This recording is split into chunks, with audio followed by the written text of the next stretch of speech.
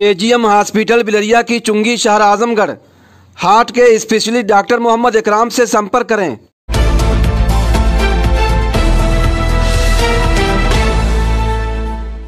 जय हिंद आदाब। मैं हूँ शमीम जराजपुरी और आप देख रहे हैं खबरों नज़र चैनल। सबसे तेज़ और ताज़ा समाचार देखने के लिए बने रहिए हमारे साथ। अब खबर विस्तार से। यूपी के जिला आजमगढ़ से ये खबर है जहाँ साइबर क्राइम थाने की पुलिस को बड़ी कामयाबी मिली है।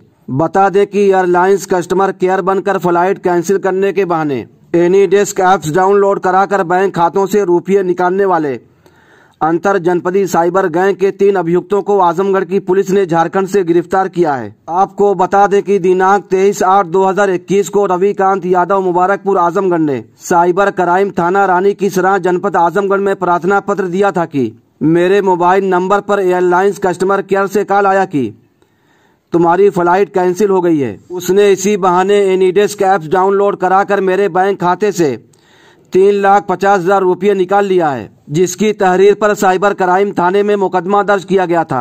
पुलिस ने जाँच के बाद पूरे मामले का पर्दाफाश करते हुए कलाम अंसारी, पुत्र सलीम मियाँ, गिराम रघुआडी थाना खागा, देवघर, झारखंड, राजा रजवार, पुत्र मधु रजवार, ग्राम गायनी डी सलदा थाना खागा, देवघर, झारखंड, और राजा अंसारी, पुत्र सिराज अंसारी।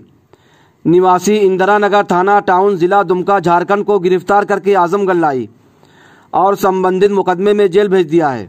खबर और विज्ञापन के लिए संपर्क करें। आजमगढ़ की ताज़ा और तमाम खबरों को सबसे पहले देखने के लिए हमारे चैनल को सब्सक्राइब करें।